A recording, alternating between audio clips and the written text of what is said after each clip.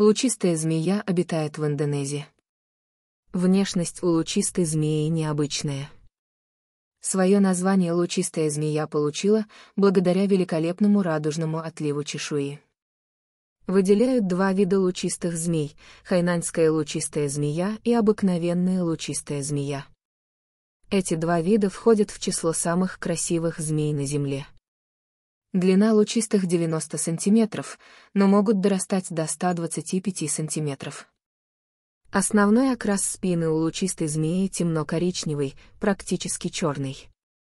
При ярком солнце чешуйки переливаются, словно призмы, давая поразительную радужную окраску точка ведут роющий образ жизни, находясь большую часть времени под поверхностью почвы. Лучистые змеи не ядовитые. Они в течение дня стараются не попадаться на глаза.